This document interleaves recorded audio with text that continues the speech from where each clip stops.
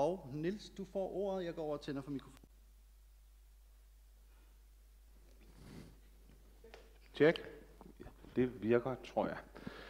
Øh, det er jo sådan lidt meta, at du sidder her, fordi din hovedperson, hun vil virkelig have hadet at være her, ikke sandt? Ja, det vil jeg. Øh, med, med bogpusher Ja, ja, og krejler over Ja, det ja. hele, og plakater og krimiforfattere, der bliver promoted, fordi det skal man jo være nu om dagen, man skal være promotable, ikke bare skrive, og det hader hun.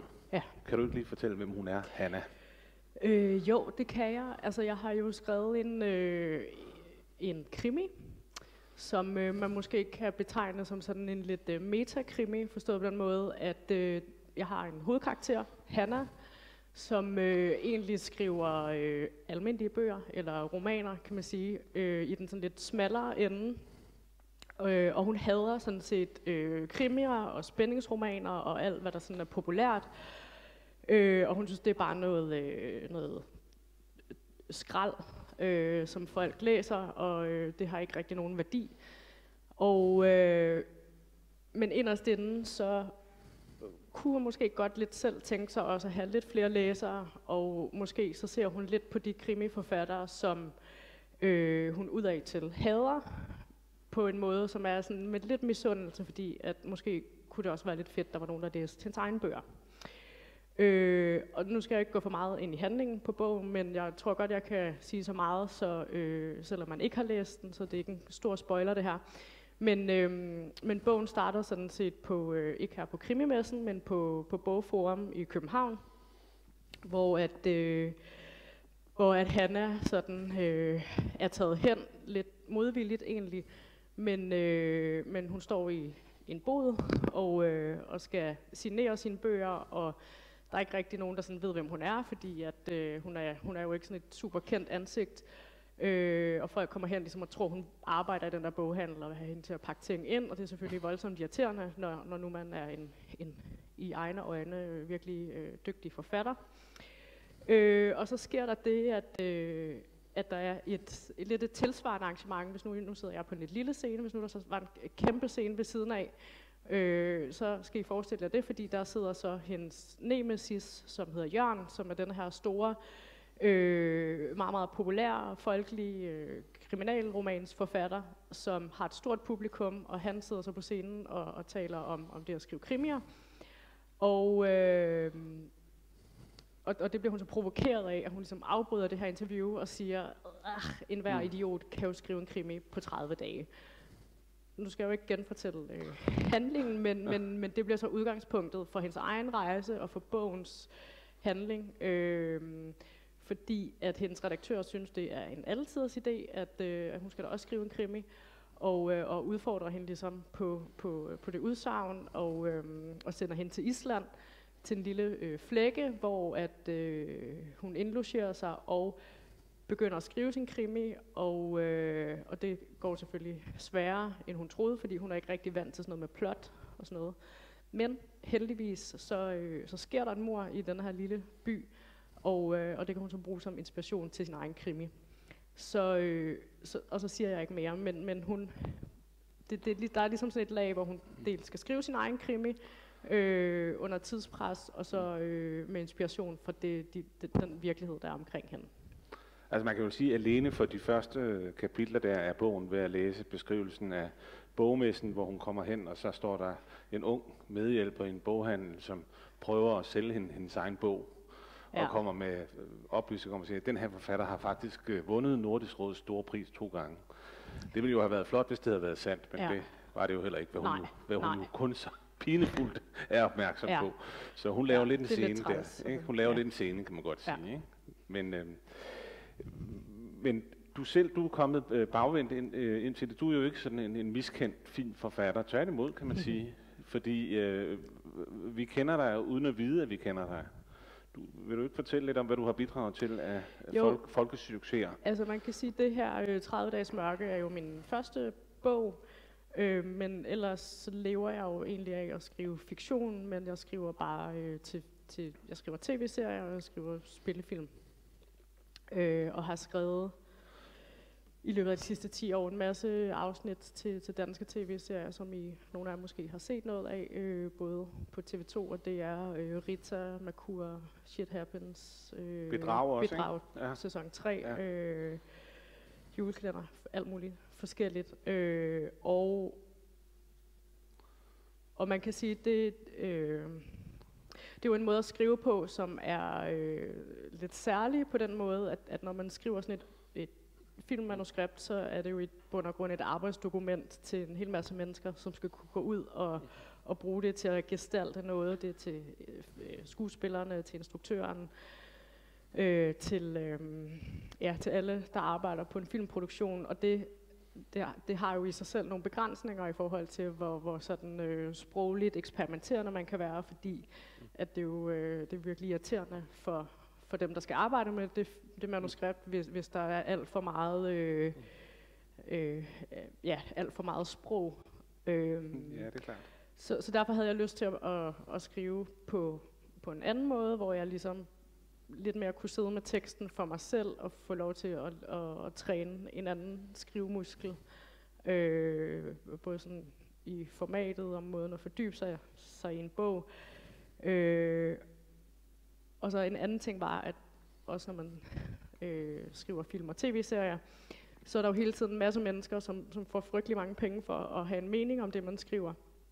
Så det vil sige, at man, man øh, skriver et eller andet, og så er der nogen, der læser det, og så Mm. mm. kritiserer de det, og så skriver man det om, og så læser de det igen, og så kritiserer de, og så skriver man om og om og om, og det er ligesom en, en proces, som, som også er spændende, men, men hvor med bogen sad jeg faktisk rigtig, rigtig lang tid selv, før der overhovedet var nogen, der læste, hvad jeg havde. Øh, og, og for mig var det sådan en, ja, sådan en, øh, et lidt Conor projekt som, øh, så, som jeg gjorde for min fornøjelses skyld. Og, og, så er jeg, og så er jeg rigtig glad for, at der er nogen, der gad at udgive den, fordi at, øh, det vil man jo også gerne, Ja, det når er man har klart. skrevet en bog. Det er klart. Øh, Men jeg, jeg ved for eksempel, at hvis man sidder, altså når man sidder og arbejder med manuskripter, hvis man laver øh, en, sådan, for eksempel en amerikansk sitcom, for eksempel, hvis du sidder og laver Seinfeld, og du ser det og tænker, det, kæft, hvor den, hvor den sidder i skabet, ikke? så er det jo ikke et resultat af, at der er en mand, der er genial. Det er jo nogle hold, der sidder og arbejder som sindssyge. Ikke? Ja. Er det også sådan, det foregår, når man laver bedrag, for eksempel? Øh, nej, altså man kan sige, der er jo nogen, jeg har lige skrevet en julekalender også, som får et premiere, øh, sjovt nok, til jul i år øh, på TV2. Og der har vi haft et forfatterrum på fem. Det er sådan relativt stort i Danmark, tror jeg. Øh, de der amerikanske forfatterrum, der kan jo sidde ud 20 mennesker, og så sidder der de sådan i rækker i lag nærmest, så dem, der sidder længst ud mod væggen, de må ikke engang sige noget. Der er vi jo lidt mere Hvad demokratisk. må de så? Jamen, de må sidde og tage noter, og så håbe, at de engang får lov til, at få lov til at byde ind med en idé.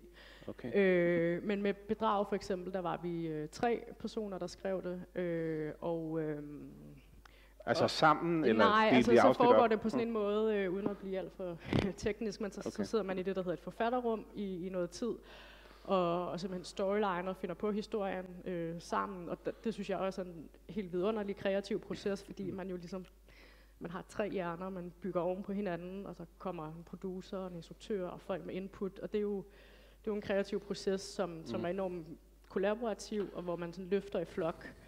Øh, og så går man selvfølgelig ud og sidder med sit eget afsnit og skriver, så det er jo ikke sådan, at man sidder inde i et eller andet dokument, og alle sidder og skriver oven i det samme på den måde, men, men det er klart, øh, der er flere mennesker, der på en eller anden måde har en aktie i det. Øhm, og, og der er det jo lidt mere ensomt at sidde og skrive en bog. Men, men på den anden side er du vel så trænet i at finde på og at få en historie til at fungere. Jeg sidder tit og tænker på, når jeg ser de her, nogle af de her store tv-serier, og man kan jo sådan efterhånden, når man har set mange af dem, kan man jo godt se, hvad det er, de gør. Og så, men selv når man har set, hvad det er, de gør, så tænker man, hold kæft, hvor er de gode til det. Og hvor, det kunne jeg ikke lige selv gøre, det der. Øh, du tager vel den viden om, hvordan sådan en historie der skal bygges op, tager Ja. du vel med, ikke? Og nogle figurer, Ja. øh, som for eksempel hende der i bedrag, den her bankassistent, Ja. der, der, der ser en mulighed for, at nu bryder ud af alt det her, ikke? Ja. Øh, altså, du tager vel noget viden med? Ja, altså man, man kan sige, øh, i for, forhold til sådan en, øh, en, en, en dramatisk måde at arbejde med historierne på, så, så særligt på tv-serier, så øh, hvis man laver bedrag for eksempel, det er jo, det er jo 10 timers drama, det er ret meget. Øh, ret meget dramatik, der ligesom skal fyldes ud, så, så der er ligesom, øh, der er nogle, nogle, jeg vil ikke kalde det formler, fordi jeg synes faktisk, det er en meget organisk proces, og jeg synes ikke, øh, jeg ved godt, man tit hører, så det er bare en formel, som øh, Hanna i, i øh, min hovedkarakter i øvrigt jo også bare synes, krimier er en formel, men selvfølgelig er der nogle, nogle, nogle sådan, øh, dramaturgiske værktøjer, man bruger i forhold til, hvor, hvor Det var kun det, jeg mente. sine Jeg mente ikke, det var en akter og sine vendepunkter og sådan ja. ting. Øh, så, som jeg jo selvfølgelig har taget med mig ind i, i det at skrive en bog, øh, fordi at man er så trænet i, at der skal være fremdrift i en historie, og der skal være, øh, hvad hedder det, øh, og der skal være vendepunkter, der skal være en lille øh, en tagline, kalder man det, for i slutningen af en scene, som enten er en fed replik, eller en, Mm. øh, et eller andet, øh, en, en lille form for cliff, der gør, at man ser næste scene, fordi at særligt på tv-serier er man så afhængig af, at folk ligesom bliver ved med at se, ikke scroller væk, og, og at man også, man, især med streaming, at man sådan, så ser man også næste afsnit og sådan noget. Så det, det stiller jo nogle krav til, til måden at fortælle på, hvor der hele tiden skal være noget, øh, noget fremdrift i historien. Og det, den ligesom, metode har jeg jo taget med ind i bogen. Når det så er sagt, jeg snakker bare, du afbryder mig, hvis... Øh, Du snakker. Nej, men, men man kan sige faktisk, jeg, med 30 dages mørke satte jeg mig egentlig ikke ned og tænkte, at nu skal jeg skrive en krimi. Jeg tænkte bare, at jeg skriver en bog, hvor der er nogle mor. Og så var det først, da øh, Grønningen 1, øh, som er mit forlag, kom på og sagde, vi synes, du skriver en krimi. Så sagde jeg, okay, så er det det. øh, og, og det er jeg rigtig glad for, og så gjorde vi selvfølgelig, arbejdede vi med det på en måde, hvor den, den får lidt mere krimidynamik, men, men jeg tror, jeg tror, der er nogen, der læser den og tænker, at den er sådan ikke så krimiagtig i starten Mm. i hvert fald, fordi at det var ikke ligesom ikke med det, det blik, jeg startede, satte mig ned for at skrive den, men den bliver så mere, øh, kan man sige, lidt mere klassisk krimi Men det er jo meget apropos også det, du øh, skriver om her, og alene det, vi sidder her i, i fængslet. Altså, det, den første krimimesse, ikke, det var sådan en, en 4-5 herrer i cutcoat, øh, der gik rundt og citerede Raymond Chandler. Ikke? Ja. Og i år siger vi farvel til Vibeke, som øh, stod for det helt fra begyndelsen. Øh, og, og, og siden da har messen jo vokset sig stor, og det skyldes selvfølgelig dels Vibeke, men det skyldes jo også, at genren, der, den har virkelig fået lov til at rumme nærmest alt. Ja. Øh, og så det er måske ikke så underligt, at de forlag siger, det er en krimi, fordi det, det er godt, hvis det er en krimi. Ja. I gamle dage ville det være dårligt, hvis det var en krimi, fordi så var det jo bare en krimi. Ja. Så der er jo sket noget. Ja. Ja, og man... Øh, altså igen, nu er der en hovedkarakter, der virkelig hader krimier, øh, og så lærer hun måske lidt at elske det undervejs, eller i hvert fald finde ud af, at, at, at der er også en værdi i det, og det måske var det ikke helt så nemt at skrive øh, en spændingsroman, som hun troede. Øh, og jeg har, jeg har det jo selv omvendt, fordi jeg elsker krimier, og jeg Ja. læser mange. Det er også, når jeg selv ser tv-serier og sådan noget, så det er tit øh, ja, krimier, jeg ser. Øh, men, men jeg øh, kommer jo også fra universitetet, hvor man har en, øh, en lidt fin smag med nogle ting, og noget, der er noget, der er litteratur, og der er noget, der er bøger, og mm. der er ligesom sådan en motorvej imellem de to ting. det er og dog kan ikke filmvidenskab, du har læst, skal vi sige. jeg har læst filmvidenskab, ja, ja. ja, Men, men, men jeg tror også, det er ret gældende for de der humanistiske studier, at man bliver sådan lidt snobbet omkring, hvad man synes, der er værd at bruge sin tid på. Og jeg øh, synes i hvert fald, jeg oplevede sådan en eller jeg kender både til den, sådan, at jeg kender mennesker, der aldrig vil læse en krimi, og der er også nogen, der har sagt til mig, sådan, jeg kunne aldrig finde på at læse en krimi, men jeg kunne godt lide din bog, eller sådan. Men, og jeg, jeg synes ikke nødvendigvis, det Øh, jeg synes bare, det er snobbet, fordi jeg synes, hvis det er en god bog, så er det en god bog, og så er det jo lige meget, hvad, hvad hedder det, øhm, hvad genre det er, men jeg synes, det som krimien jo kan, det er, det er jo der, hvor man netop også går ned i sådan nogle helt mørke, eksistentielle, øh, samfundsrelevante øh, relevante, øh, tematikker. Øh, og, og derfor synes jeg, øh, nogle gange det er en lidt undervurderet genre, men som du også siger, så, så er det jo efterhånden også øh, en genre, som kan meget forskelligt. Ja. Ja. Øh, og jeg er jo glad for, at der også var plads til en krimi som min. Men for dig at flytte dig fra skal vi sige, manuskriptskrivning til øh, deciderede øh, romaner, øh, det er jo så en lidt øh, særlig bevægelse. Altså, det er jo, man oplever jo tit, at dårlige bøger kan blive til gode film, fordi de faktisk havde en god historie, de er bare elendigt skrevet. Ja. Og omvendt kan gode blive, bøger blive til dårlige film, ja. fordi man ikke kan, altså som du selv siger, der er for meget sprog, Ja. og hvordan, øh, hvordan ligesom gør det til et- den rigtige film. Det, det er ikke sjældent, det lykkes faktisk. Ikke? Øh, hvordan havde du det så med, og, så du, og du sagde selv, du fik at vide, nu skal det jo ikke være, være kunst det her, det skal være færdigt, og det skal fungere. Ikke? Hvordan, hvordan havde du det så med at gå over noget helt andet, øh, en helt anden genre? For det er vel en helt anden genre at skrive en roman i virkeligheden. Øh, jamen, jeg tror... Øh, altså, jeg vil, når, jeg vil dog også sige, altså, jeg synes, i forhold til danske øh, film og tv-serier, så er øh, ambitionsniveauet meget, meget højt. Øh, altså, det synes jeg virkelig i forhold til sådan, den måde, man, man går ind i det på, og, og Ja. jeg synes jeg også, man kan se på ligesom, de ting, der bliver lavet. Så det er jo ikke sådan, at, at det er bare sådan en verden, hvor man bare sprøjter ting ud. Men man kan sige i forhold til jeg tror, det, der har været den største forskel for mig, det, det, det er den måde at arbejde med teksten på, hvor jeg er vant til, at, at man sidder med noget i nogle måneder, og så er det jo ens baby, man lægger ud på togskinnerne, og så er der bare nogen, der kommer hen og kører hen over det, når man, øh, når man skriver film og tv-serier, fordi det er hele tiden i proces, og det kan hele tiden blive bedre, og det skal hele tiden skrives om og om og om, og der er hele tiden nogen, der synes noget. Hvor jeg oplevede øh, på en virkelig rar måde, øh, at, at, at arbejdet med bogen har været sådan, der har været lidt mere respekt omkring Okay. teksten, og, Ja. og, og jeg har fået, jeg har haft gode læsere på, jeg har haft et, et forlag, der jo selvfølgelig også har udfordret og, og været rigtig gode undervejs. Mhm. Øh, til, til sådan at gå, gå kritisk til det, men det har hele tiden været på mine præmisser, og, og det har været, opgaven har, for, har været ligesom at hjælpe mig med at fastholde min vision på det. Øh, hvor det er klart, på en tv-serie er der lidt flere kokke øh, om retten, så, så der, Mm. mm. der, skal, der kan den blive trukket lidt mere forskellige retninger, men, mm. men med hvor en bog, øh, ja, der, der, der synes jeg Mm. virkelig, at jeg får lov til at lave mit eget værk, hvis man kan sige det sådan. Jeg kunne godt tænke mig at høre, Hanna, ideen her om Hanna, den finlitterære forfatter, der, der påtager sig det her, altså, det er jo sådan med alle gode idéer, dem synes man nærmest selv, man har fået.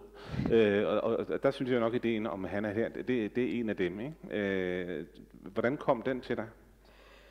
Øh, altså ideen om at have en forfatter, tænker du, som Ideen om at have en finlitterær forfatter, der Ja. er, er sur over øh, det der, altså det, det, den, øh, den tanke er jo ikke fjern, vel? Øh, Nej, Men, men så vedmålet eller udfordringen. Øh, jamen, jeg tror igen, så det er det der med, at jeg, jeg tror, jeg selv i alt det, jeg laver, øh, øh, øh, jeg sætter virkelig pris på folkeligheden i det. Jeg synes, det har en værdi, at man laver noget, som andre folk rent faktisk gider at interessere sig for, øh, og at ikke at man skal nå bredt ud for enhver pris, men, men jeg synes, øh, at det, at man man, øh, man skriver noget, så, så, som også har øh, på en eller anden måde et, et publikum øh, i sigte.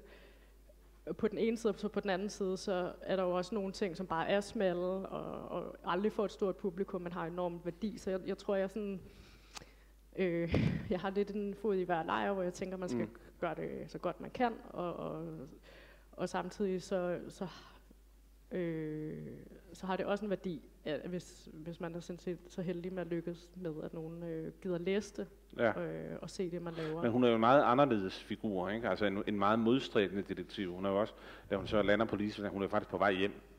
ja, ja, øh, hun, med hun det gider samme. det slet ikke. Nej. Øhm, men, øhm, men det er jo også sådan en, en, en, en god filmkliché i virkeligheden, med, med den modvillige held, der, der skal overtales, og så Ja. ja. først når man går ind i andet akt, så, øh, så, så er man ligesom med på rejsen. Så, Ja. øh, så på den måde er hun jo egentlig en ret klassisk øh, figur. Ja, og så kan man sige, så kommer hun til Island, og det er jo, øh, på sin vis er det jo mere eksotisk end New York, selvom det skulle være tættere på os. Så er det øh, jo i dag fjernere fra os, og jo i hvert fald et ø-samfund noget, noget helt særligt, og det ligger vel også i titlen der, 30 dages mørke, altså noir, ja. det er en noir-setting, ikke? Ja. Øh, ja, altså øhm, min, min arbejdstitel i flere år var Mor på værelse fødder, og det synes mit forlag var en forfærdelig titel. det var det også, det skulle den aldrig hedde. Øh, men, men, øhm, men det er klart, Ej, det tror jeg, de havde ret i. ja, ja, ja, ja, men det var øh, virkelig også en arbejdstitel. øh, men, men for ligesom på en eller anden måde at sige, at koble den der sådan, øh, øh, litterære snobbede karakter med noget øh, krimi. Men, øh, men man kan sige, grunden til, at den foregår i Island, det er faktisk, øh, at, at det er et sted, jeg holder meget af. Jeg har noget familie deroppe fra Mm. osv. Øh, og, og, øh, og faktisk er grundplottet, uden at gå ind i, i at afsløre noget, men, men plottet er inspireret af en islandsk veninde. Jeg har hendes familiehistorie, som øh, er sand, så, øh, så, så den var ligesom ret øh, oplagt at bruge.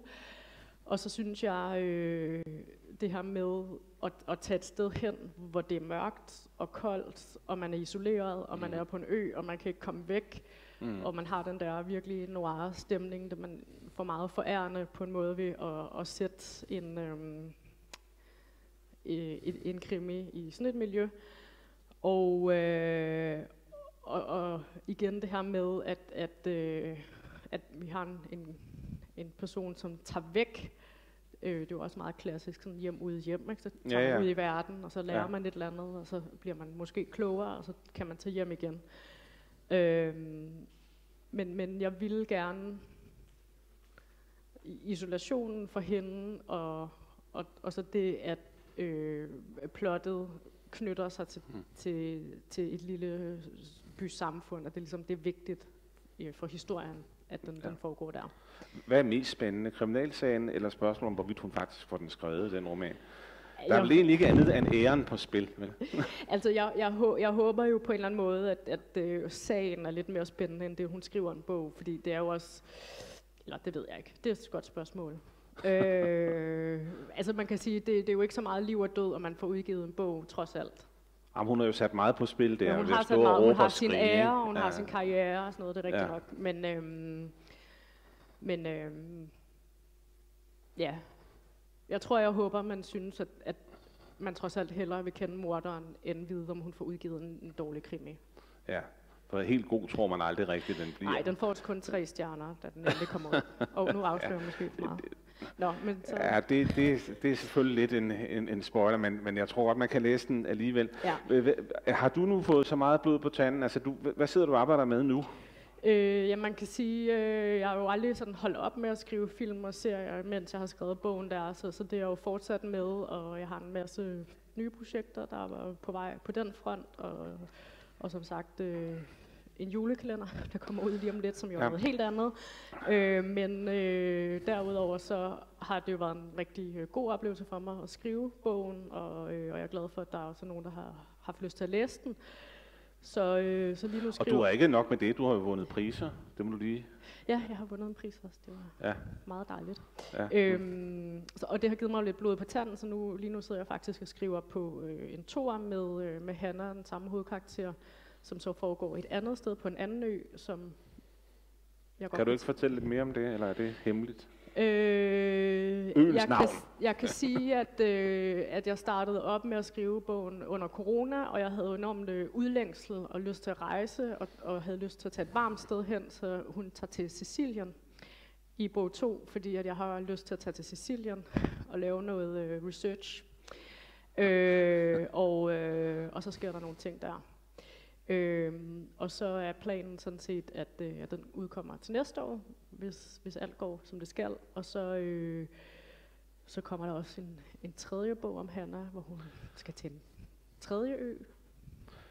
Fantastisk. Ja, Så hun så begynder det er- efterhånden også at forlige sig måske med, med, med det Jamen, Hun hele. kan ikke rigtig slippe væk fra det, fordi at, øh, der sker bare mor, der hvor hun kommer hen.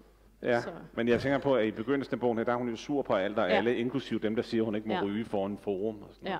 Jamen, hun Øh, hader alle. Ja, hun hader alle, ikke? ja. Især Jamen, forum. Ja, hun- især forum og Ja. bogforum og sådan noget messer, det kan hun Ja. slet ikke have med at gøre. Men øh, altså, hun hader folk lidt mindre i slutningen af bogen. Ja. Men, øhm, men om hun sådan helt holder op med at hade, Ej, det må hun ikke, fordi så Nej. det bliver for kedeligt. Ja, Altså, ja. Hvis, hvis hun begynder at forlige sig alt for meget med ja, verden. det, det gør hun nok heller ikke helt. Men øhm, der er noget vrede stadigvæk. Det er godt. Tusind tak, fordi du kom her. Jeg håber ikke, det er ikke dig, der handler så meget, at du går ud og hader alt Nej, her. nej, jeg elsker, jeg, nej, bestemt ikke. Tak, fordi du kom. Det, tak.